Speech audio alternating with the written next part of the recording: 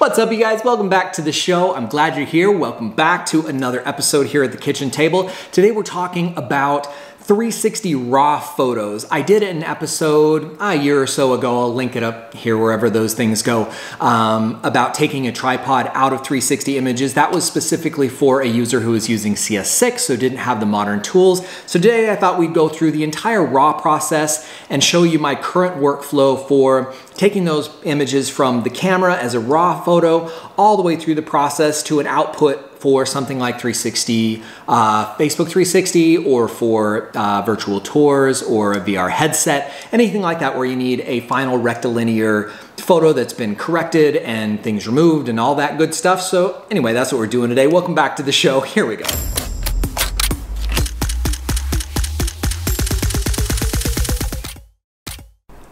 Now, before we get to the editing part, let's talk a little bit about shooting. Now, no matter what 360 camera you're using, there are gonna be a couple of components that you want to take into account. Now today, we're working with the Insta360 One X2. You know that I was a very big fan of the One X, the original. This is just the newer version. I really like this camera. I've been super happy with the images out of it so far, but a couple of important things that I wanna point out as you're shooting because even though these capture 360 degrees, the direction that the camera faces does make a difference, and let me explain that. On the Insta360 One X, we have a front and a rear camera, just like any other 360 camera.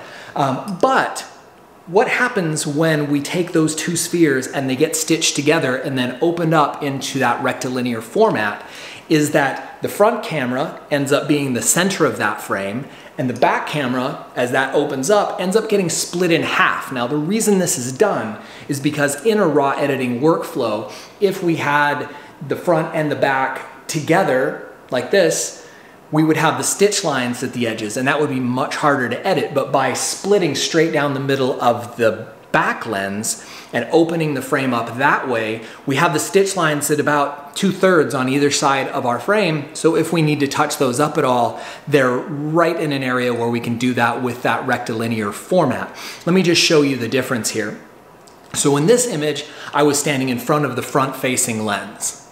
And if I turn the camera around, in this image, I'm in front of the back facing lens. You can see it's cut me in half I'm on the far edges of the frame. If I had to adjust myself, it would be very difficult. So that's why having that front facing lens facing either your subject or the most difficult part of your image to to edit. In this case, I've got some really bright windows back here, but behind you is the kitchen and there's no windows in the kitchen. It's a very controlled light situation. So what I wanna do is make sure that my front facing camera is seeing all of these windows because that way when I go in and do an HDR workflow where I've got multiple shots that I'm trying to blend together, I'm seeing the most, the biggest offender in that image in the middle of my rectilinear. And that way it's just easier to see. I hope that, I hope that makes sense. So those are the couple of things that I wanted to talk about as far as shooting goes. The other thing is eye level is important for if you're doing a virtual tour or if you're doing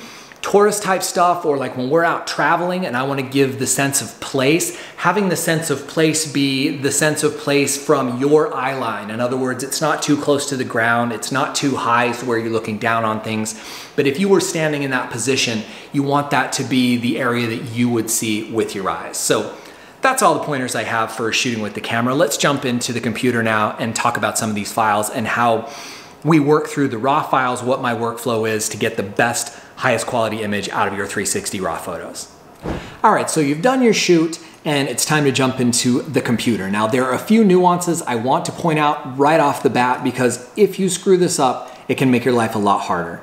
So the first thing that I want to say is I'm looking at the photos here in Bridge on my laptop and if you were to open these, say in Camera Raw from here or your Lightroom and you open that image and start tweaking it, because this is a DNG file, it means that all the EXIF data, all of the metadata for this image is stored inside that digital negative. I love the DNG format. I convert all of my files from my Nikons to DNG. It's Adobe's proprietary digital negative format and they're committed to that format for the long term. So I try and convert everything to it anyway. I love that the Insta360 One and One X, I think, shoot, shoot in DNG already. But the nuance here is that if you open that up and change things, there is a very high probability that that overwrite in the metadata is going to make it impossible for you to unwrap this image into rectilinear in your software for your camera. So the first thing we wanna do before we do anything else is jump over to our Insta360 Studio in this case, and I want to grab the file that I want to work with,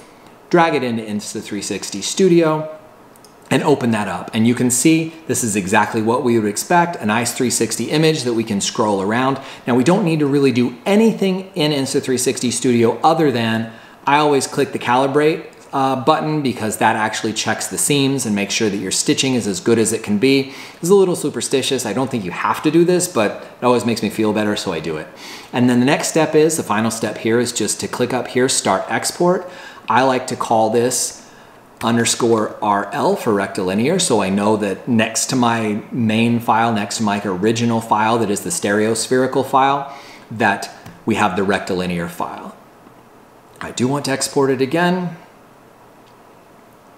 I've already done it once or five or six times trying to get this recording right.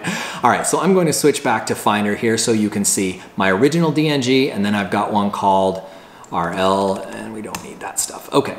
So we've got a rectilinear. Now, basically what we've done, just so to catch you up, when this comes out of the camera, we have a front and a back lens, and those are individual photos that are put together into one DNG. But what you can see here is that spherical, uh, stereospherical, where we have both the front and the back in one file. And what we've done now is unwrap that into this rectilinear format that we can now start working with. So I'm just gonna close these two files, go back to the one I just created and throw it into Photoshop. And here we are in Camera Raw because we took a stereospherical DNG file and we converted it to a rectilinear DNG file. It's still a digital negative. It's just been formatted differently so that we can work with it and so we can export it properly. So I'm just gonna do a quick run through here. I'm gonna pull the highlights, push the shadows, do the basic little weird stuff that you always have to do, little clarity, a little vibrance. I'm not really working on this.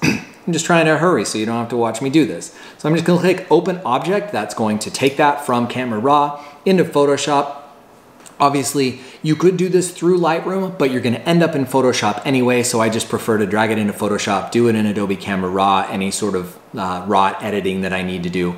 And now I have this as a rectilinear file inside Photoshop.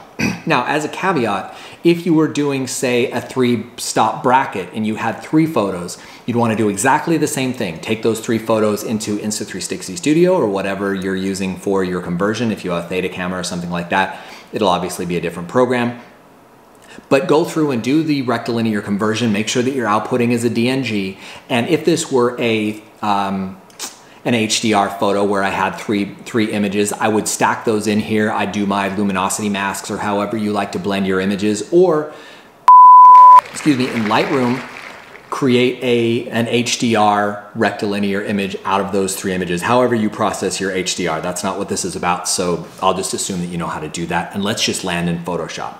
So what we have here is our smart object layer. It's the only layer that's open right now, and what we're going to do is go up here to 3D, click spherical panorama, new panorama layer from selected layers. And what this is going to do is it's actually going to turn that rectilinear image into a 360 image, just like the one that we saw in our Insta360 Studio, one that you can drag around and look at as if you were looking at it in a 3D program on Facebook or in a, uh, oh, what do you call that? a virtual tour software or in a virtual headset. Anyway, we can scroll around. What we're concerned about in this image is the tripod. So I wanna show you how to remove that, but non-destructively. So the first thing we need to know is that over here now in our 3D layer, we have a section inside that 3D layer called spherical map. And spherical map is where our original DNG, the original unwrapped uh, spherical or rectilinear uh, file lives. And you can see that this is the raw file. If I double click on it, I go right back into my raw editing and I can make tweaks here if I want to. But the important thing to know is, I'm just gonna cancel out of this. If you're going to make tweaks to your raw file, once you look at it in your sphere and, and you think you need changes, come in here, make the changes, save this file, and close it. Now, unlike a standard smart object where if you save it, it'll update to the parent file, these don't work that way. So you need to update, close, go back to your 3D layer, and if you need to make more changes to that spherical map, you've got to reopen it again. That's really important. So the first thing that I want to do is actually reopen that spherical map. Here's why. Because if we add a new layer here, let's call this tripod removal, what we can do is save this. So I'm saving this spherical map, and we're gonna go ahead and close it, go back to our 360, and then any changes that I make on a new layer here, I can merge down into that new layer I just created in the spherical map. So let me show you that in practice. So I'm gonna zoom in here and I only want to remove the, the tripod here. So what I'm going to do is I'm actually going to create a new layer. You can Command Option Shift and N, that's the uh, quick key I use, or you can just click new layer over there in the layers palette. And I'm going to do also Command Shift Option E or layer image, image, apply image right here. And basically what apply image does is it takes everything from all the layers below and it combines them together into the layer that we're on. So basically if I zoom out here in layer one, you can see if I move this around that I basically just got that frame copied to a new layer. And the reason I'm doing that is because depending on how much cloning you have to do, and I'm just gonna do a real quick selection here, Shift Delete to use the fill dialog for content aware, and we'll see how that does. We got pretty close. Let's zoom in here. I'll grab my clone stamp tool, just sample down here, paint a little in there. Try and do an okay job. All right, and now we can't see the tripod anymore, but we have this entire layer that we don't actually need. So what we can do is we can actually hold down our option key and add a new layer mask to this, grab our brush, foreground color set to white. And now all I'm gonna do is I'm just gonna brush onto this layer map that's, or I'm sorry, didn't wanna do that, onto this layer mask that is selected. I just wanna paint out my tripod, just like that. That's it. Now, if I hold down option and click on the layer mask, you can see all the stuff I've painted in white, that's what is actually showing through. So I'm gonna option click on that again to hide it. And then if I click on that layer mask, and choose apply layer mask. That's going to basically apply the layer mask to whatever was on that layer. And now you can see if I turn off the background layer that all we have on that layer is just this little bit of, of adjustment there, this little bit of painting that we've done over the tripod. Now, this is where the cool thing is. What I can do is I can merge this layer down and actually put it into the spherical map right from here. And you do that by Shift Command or Shift Control E. Um, and that actually, whoa, that's not what I wanted to do. I'm sorry, Command E, not Shift Command E. Command E or Control E on a PC. And what that's going to do, if I go back and open that spherical map again, you'll see that on my tripod removal layer now, if I turn off the other layers, down here at the bottom, you can see that that tripod removal layer that I made within the 3D object is now placed right on top of, just down there at the bottom, on our spherical map.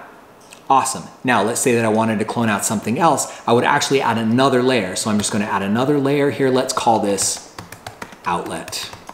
And I'm gonna take out an outlet. So you wanna make sure whatever layer you want your work to go onto needs to be selected. So I'm going to save this and then I'm gonna close it like we talked about. Gotta save it, gotta close it. All right, so now I'm back here in my 3D layer, let's just go ahead and drag around. Let's find something else we want to remove. I know there's an outlet over here on the other side. Oh, I hate dragging around these things. Come on. Everything is backwards. Okay, here's my outlet. So I'm just going to zoom in right here. And let's just do it with a selection this time. So I'm just going to copy that, create a new layer, paste that onto the new layer. So if I hide the background, you can see that. I'm just going to take my lasso tool here same thing, just a quick content aware fill. We can see that that's gone. Now, because I just have a small area here that I selected, uh, I don't need to do my mask and all of that. All I need to do is go Command E again. That's going to take that layer, throw it into the spherical map. And if I open the spherical map again, there it is. You can see outlet removals on its own layer, tripod removals on its own layer, and down here at the bottom, we have our raw file that non-destructive, nothing's happened to that file. All we've done is little tiny edits. So again, save and close. And when that's done, all we need to do is go up here to 3D, spherical panorama, export panorama. You tell, you tell it where you want it to save it, what kind of format you want to save it to, in this case JPEG, and I'm just going to call this rectilinear N-A-N-A and click save. And that's gonna go ahead and save our work and we're done. So that JPEG can be used in Premiere Pro to do 360 stuff. It can be used in uh, virtual tour programs. It can be used for Facebook 360. It can be used for your goggles, VR goggles that is. And that's the workflow, start to finish. So take it from the camera, convert it to rectilinear, do your camera raw edits, and then start taking things out using that 3D layer, that panorama layer, and that spherical map. And you can make as many layers in that spherical map as you want. Remember each time, save it, close it, go back to your 3D layer, add a new layer, make your adjustments on that layer, then merge it back down. That's the workflow. It's not that complicated, but there are a lot of little nuances that you need to remember. Anyway, I hope this was helpful. I hope it wasn't too long. Thank you for sticking around if you've made it this far. like, subscribe, do all that YouTube stuff that helps the channel out. I'm new here and every little bit helps, as you know. And until next time, I will see you. Bye.